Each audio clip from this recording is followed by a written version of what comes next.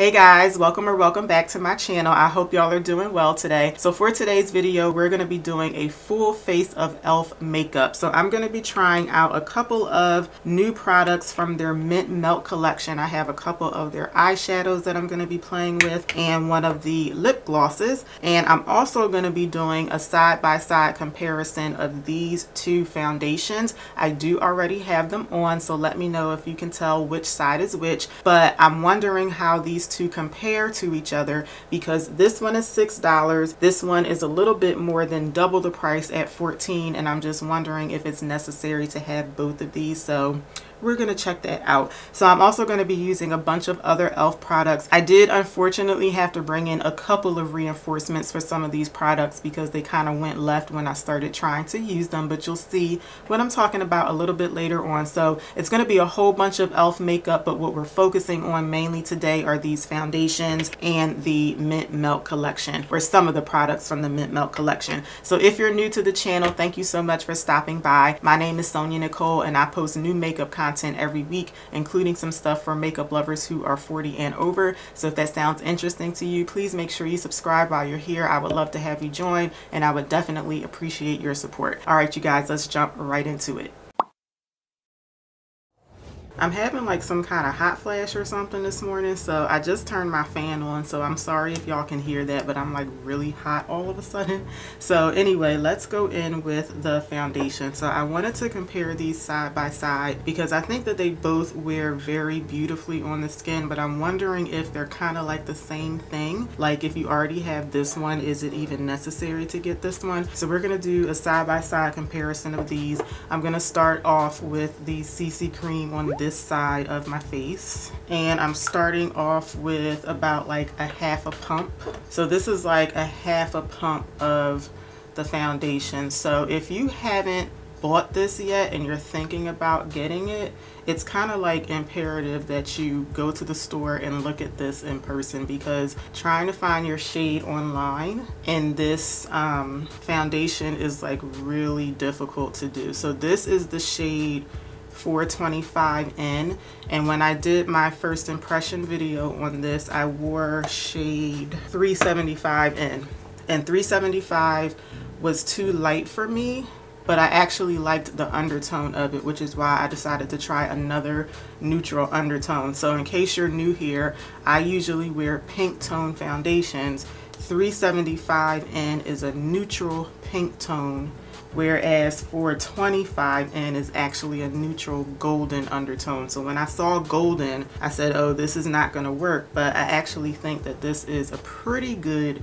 shade match for my skin. I think 450N would have been better, but I feel like this one actually looks okay, but it's like, it's neutral golden. I'm gonna go in with just a little bit more of the foundation. If you are thinking about getting a neutral shade though, when you look at the shades online, they don't tell you, so the neutral ones, they're gonna skew either cool or warm, but they're not gonna tell you that online because like 375 and it just says neutral. I didn't even know it was neutral pink until I bought it and saw it in person and the same thing with 425 and so like just in case you can use me as a shade reference, again, this is 425N. It's not the best shade match, but it's something that I can that I can wear.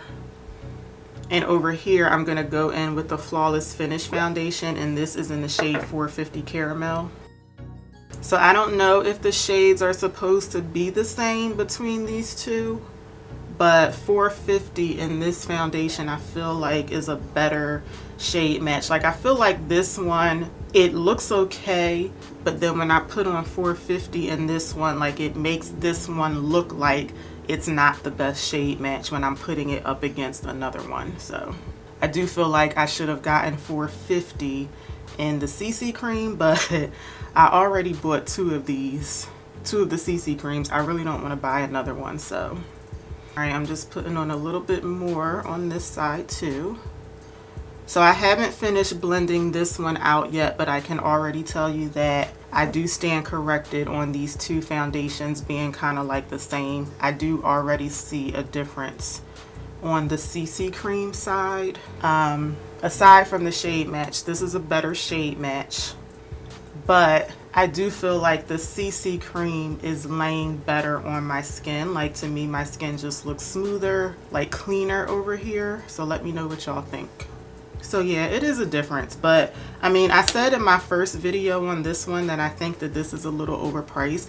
I do feel like they could have charged maybe like $10, maybe 12 for this, but I think because it's an e.l.f. product, I do think 14 is kind of up there.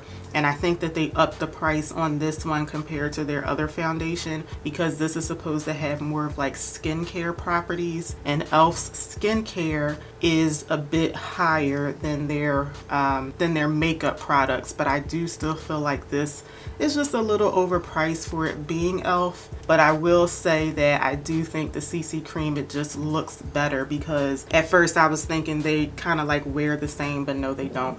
The CC cream does look, it looks better. So yeah, I, I stand corrected. So Okay, so before we move on to the eyeshadow, when I was doing my brows, I noticed that the coverage level of the CC cream is higher than the foundation side. So I went in with even a little bit more of this foundation over here to try and like even out the coverage. So I'll zoom y'all in one more time because I feel like now it's a little bit more even. So let me know again if you like one side better than the other or do you not notice a difference. All right, so for the eyeshadow, I have my my primer on. I use the e.l.f. Putty Primer and I use the shade Rose in that. So I have the two new Mint Melt eyeshadow palettes. And for those of y'all who watch my videos, y'all know how I feel about these bite-sized palettes. I love them. So the first one is called Meant to Be. So that's what this palette looks like. And then this other one is called Chocolate Mint. And that's this one here. So I feel like what I'm going to do is combine some of the colors from both of the palettes to do a look for today. This green shade here, I'm actually not all that crazy about it. Like it's just a little bit like too bold for me, I guess, too bold of a green shade. These three shades though I really like and this shade here is like really calling my name. It's like a green tone with like a almost like a grayish undertone to it and I love cool tones for those of y'all who might be watching me for the first time. So this green shade here looks really pretty to me. So I think what I'm gonna do is use these three shades from the Meant to Be palette. And then I'm looking at this shade and one of these two browns from the chocolate mint palette i don't know if i'm to tap into this shade today i'm not sure all right i'm starting off with the chocolate mint palette and i'm to dip into this shade right here and i'm to put this on most of my lid so right off the bat, I feel like the reason I like the other bite-sized palettes so much is because I think the color payoff is really nice. I think that these shadows are really pigmented. There's hardly any fallout and these palettes are really inexpensive.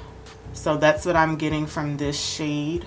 So, so far so good, but you know, I just tapped into it, so we'll see. And then I'm going to go into the Meant to Be palette. I'm going to take this shade here and put it on the outer part of my lid. So when I picked this one up with a brush, there was a little bit more kickback than um, compared to the shimmery shade on my lid, but not a whole lot. This shade here is really pretty. I always feel like when I use like muted cool tone colors that a lot of people may not like them because it seems like everybody is more into the warm tones. So I feel like a lot of people may not like this shade here, but this is so pretty. I really like that. And I usually don't do like green eyeshadow, but this color here is so pretty to me. So now I'm going back into the chocolate palette. I'm going to pick up just a little bit of this dark brown shade. That's going to go on the outer part of the lower lash line. I kept going back and forth between the two browns thinking that maybe this one might be a little too dark. But I'm just putting it right on the outer part of the lower lash line and I am going to eventually buff it out. I just wanted a little bit of brown in the look somewhere. So now I'm going to try this light green matte shade here and it might look a bit ashy on me. I might have to go in and mix these two mattes together but I'm going to try this one on its own first and use that to buff the look out. So I'm just going to use this one to kind of like blend around that dark green shade. And I feel like it's barely showing up so far. Okay, there it is. I guess I just needed to pick up a little bit more on my brush. I don't think it looks that bad. I'm gonna have to like finish blending it out and then see if I want to go on top of it with that other green shade. So I'm also using this to blend under that chocolate brown color on the lower lash line and that'll help to like further buff that brown out so it's not quite as harsh. I'm going to take that same brush without picking up any more shadow and I'm just going to blend right where the two shades on my lid meet each other just to make sure those are blended into one another. And I'm more so taking the matte shade and kind of like blending it over the shimmery shade. Okay, I'm going back into the Meant to Be palette and now I'm to pick up this green shimmer shade. So this one is just a little bit lighter than the one that I already have on the lid. I'm to put this in the innermost part of the lid and later on I'm to also use this as my inner corner highlight. I just want to put my concealer on before I do that. But for right now, I'm just to put this on the very innermost part of the lid and I feel like first impression on this, I feel like it looks just like this other green shimmery shade. They definitely look different in the pan. So this green shimmery shade here, this is the one that I have on my lid right now. And then this is the one here that I'm trying to put in the inner corner, but I feel like when I put it on my eye, it looks just like the other green shade that I have on my lid already and it may be because maybe I just bought that first green shade in a little too much but they're looking like exactly the same color so far. So the green that I put in the inner corner, it is coming off like just a little bit brighter, but there's not like too much of a difference so far, but I may notice more of a difference when I go in and do like my inner corner highlight. I'm gonna do that a little bit later on. Okay, I'm gonna move on to concealer. So this isn't anything new. This is the Hydrating Camo Concealer, and I'm gonna be mixing the shades Tan Walnut and Deep Caramel. So it's been a minute since since I've used these and I don't remember how I used to mix them. I want to say I used to just do like an equal amount of both or I don't know if I was using like maybe less of this and more of that. I'm not sure. So I'm just going to start off with doing like an equal amount of both of them I think.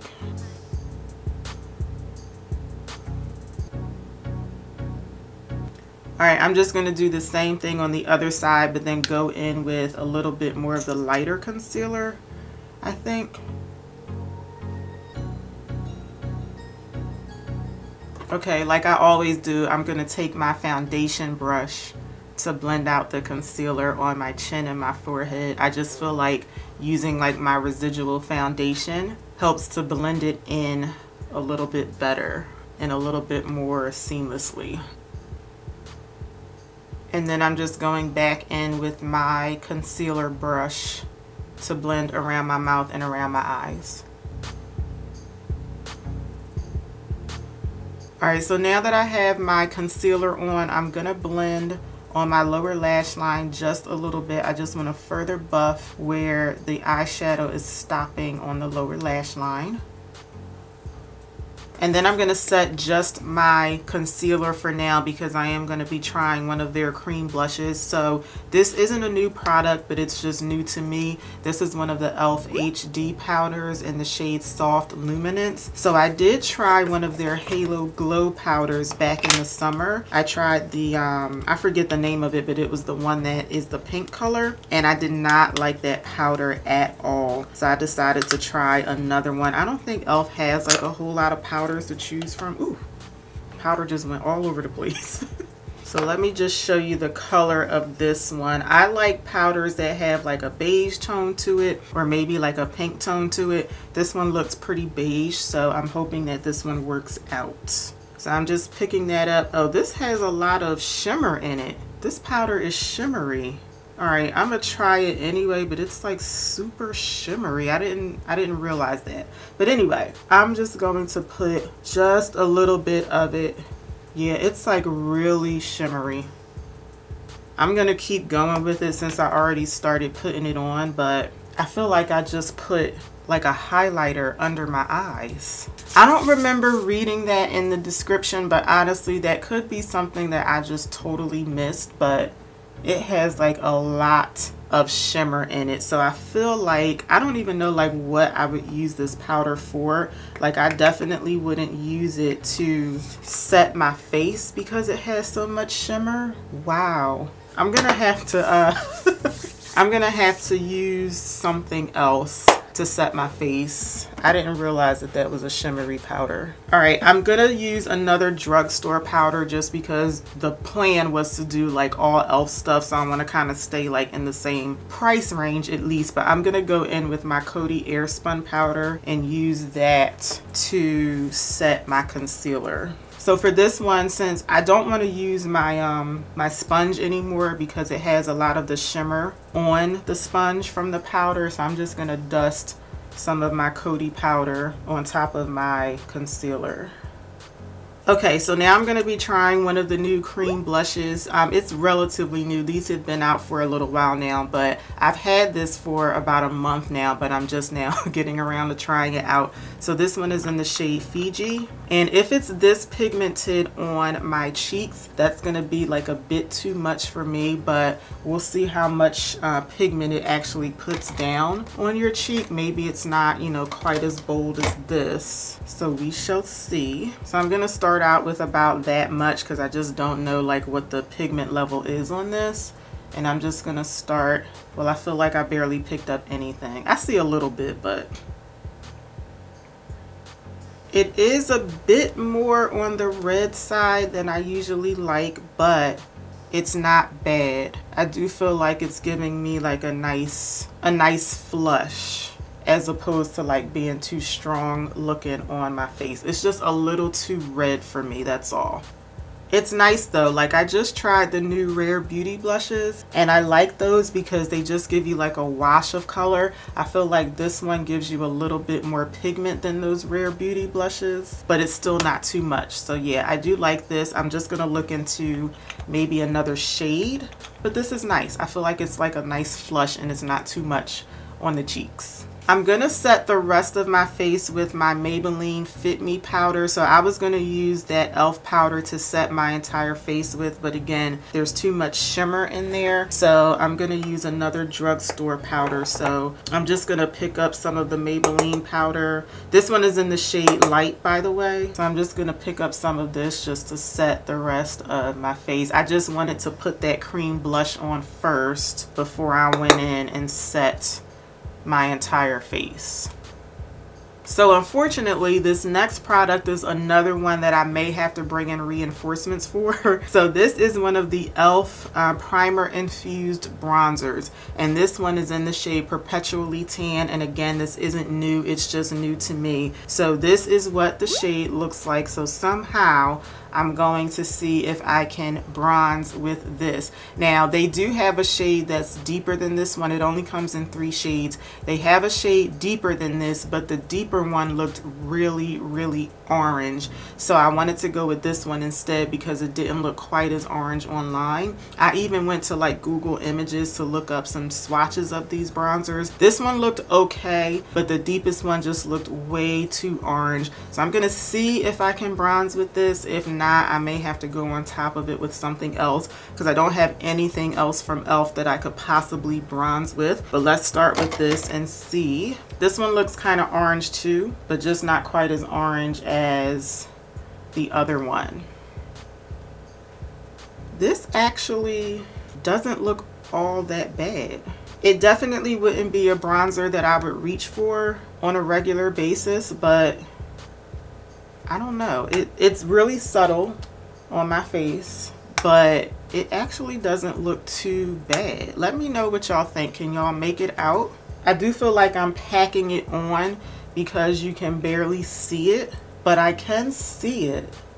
And I guess because it does run orange, it is kind of sort of giving me like a warmth effect, but it's not as it's not as bad as I thought it was gonna be. I think I'm gonna just stick with this for now. Um, when I finish my whole face, maybe I'll look back and see if I feel like I need to bronze with something else. But for now, I'm just gonna stick with this because it's not as bad as I thought. And I really wanted to just stick with just e.l.f. products for today. So since I already had to go in with a couple of other products, I'm gonna see if I can just work with this for today. Okay, so let me know in the comments if you can make the bronzer out at all or does it look like I just didn't put any bronzer on because I can see it in my mirror and it doesn't look as bad as I thought. Hmm. So let's move on to um, setting spray. I'm going to be using the e.l.f. Stay All Night Microfine Setting Mist. This isn't a new product either. This is just a, a setting spray that I use from time to time. The sprayer on here is broken though, so let me see if I can show y'all how when I spray it once, then it gets stuck and I can't use this bottle. So when I emptied out my Fenty bottle, I poured some of this spray in here. So I'm going to be spraying it out of here, but this is the e.l.f. spray that I'm using. And the sprayer on this bottle is a lot nicer anyway. It is more of like a misty spray coming out of this one. I'm going to do my mascara and eyeliner off camera. So this is just the, I don't even know what the name of this is, but it's an e.l.f. eyeliner, just a plain black eyeliner. And I'm going to be using the e.l.f. Plump It Up mascara. So I'll do these off camera and I'll be right back. Okay, mascara and eyeliner are on. So I'm going to go back into the Meant to Be palette and I'm going to pick up some of this lighter green shimmery shade again and I'm going to use that as my inner corner and I'm going to see if I can see a difference between this color and the green one that I have on my lid already. So that's it right on my inner corner. Let me make sure that I am, yes, I am picking up the, the right shade. It looks exactly the same. It looks just like the first green shimmer shade from the other palette. I was expecting more of like a silvery green shade, but I feel like I'm getting straight up green. And there's also a lot more fallout with this particular green too. It doesn't look bad, but I was expecting more of like a silvery green with that color, but it's fine. Okay, so I'm going to be finishing everything off with one of the new Mint Melt lip glosses, and this one is in the shade Chocolate Mint, so that's what the color looks like. So this is a plumping lip gloss, and I never buy those types of lip glosses, but I really just wanted to try this particular shade out. I also have a lip liner from e.l.f., a brown one, so I might use that too, but I'm going to go in with just the lip gloss and see how I like it on its own. So it definitely feels like a plumping gloss. Like I can feel like that tingling effect, but it's very minimal. Like it's not uncomfortable at all. I like this color. It is like really subtle though. Like I have like really pink lips, so I do feel like there's enough color in here that it kind of blended out some of my pink and like covered it up. So now my lips look a bit more brown than they do pink, but I like it. Now I will say, so I've had this on for what, like five or 10 seconds now. As I'm wearing it though, I can feel the plumping effect, like the tingling effect. I can feel it more and more, so it's kind of like building up, but it's nothing like too crazy. Okay, you guys, and here's my completed full face of e.l.f. makeup. So if you got any of the new products from the Mint Melt collection, let me know what you got and what you think about them. I hope that y'all enjoyed this video today. If you did, please let me know by giving me a thumbs up. Make sure you subscribe before you head out today, and I'll see y'all back here for my next one. Until then, take care. Have a good one, y'all. Bye.